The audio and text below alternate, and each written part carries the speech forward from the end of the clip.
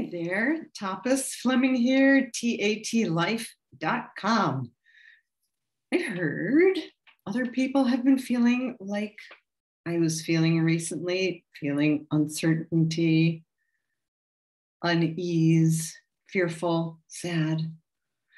I don't know about you, but for me, it was related to a vision I had like life is going to be really crashing and getting darker and there was like i wrote about things because i knew i was going to do some tat for myself but like there was this voice saying uh, there's no way out. And then just to make the whole bunch of things um, bigger and related to me i thought of a couple things from my childhood that put me in a place of sadness fear feeling powerless and added those to the mix of what I was going to work on because I find that the things that uh, get under my skin and drag on me and make me feel really bad usually have some way that they're reflecting some unresolved childhood something or others. So uh, that's what I'd suggest for you too. You do that.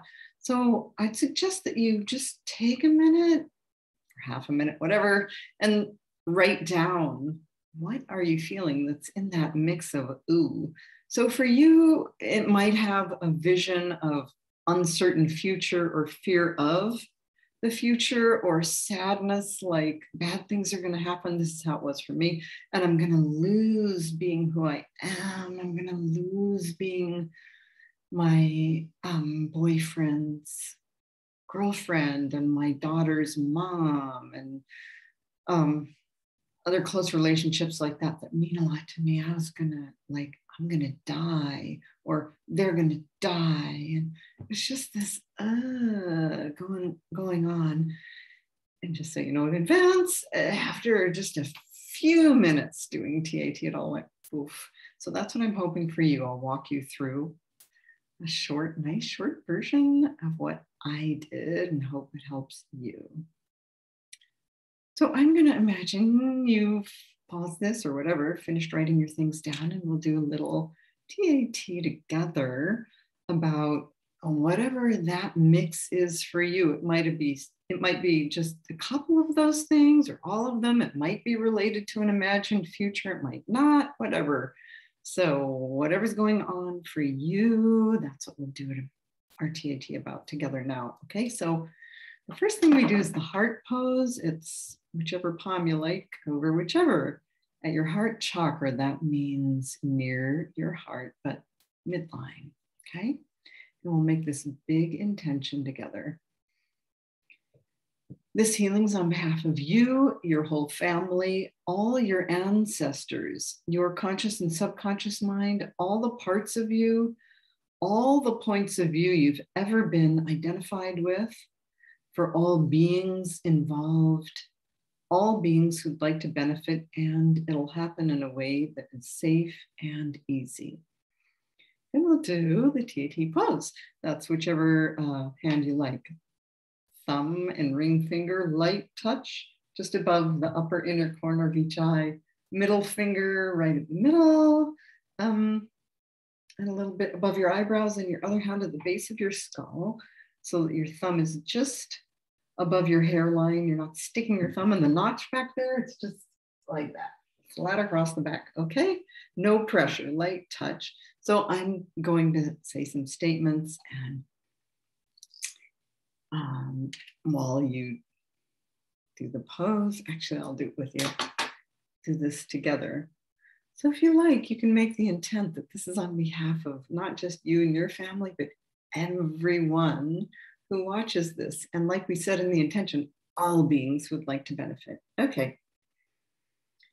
Everything that led up to my resonating, identifying, and connecting with this happened. And this means all that stuff you wrote and felt and noticed in yourself. Okay.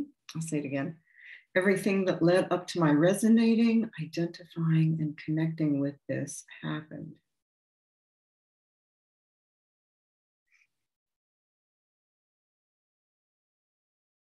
All that happened it's over or hasn't happened in the future. And I don't need to resonate, identify, or connect with this. All that happened, it's over, and I no longer resonate, identify, or connect with this.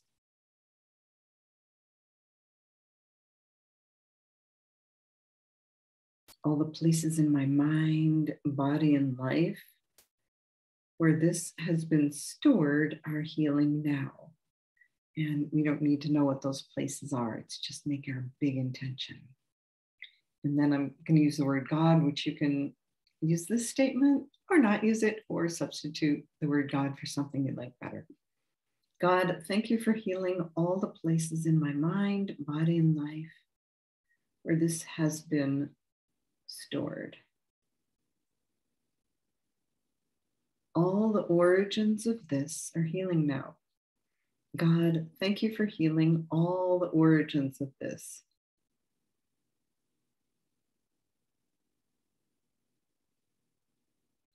Excuse me. then choose whatever you would like to be true for you now, like I feel at ease, full of love and joy right now. You can make a statement like that. Or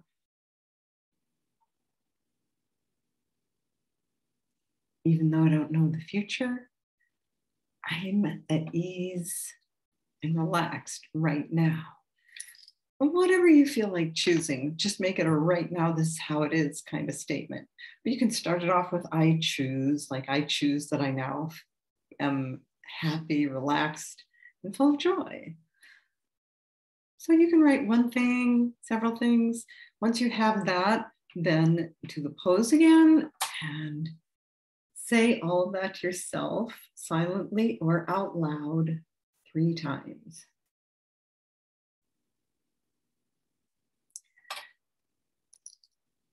Then if you want to look over what you wrote or what you thought of or were feeling before we started doing the TAT and see what remains. Like, oh, maybe there's a little fear, some uneasiness, whatever.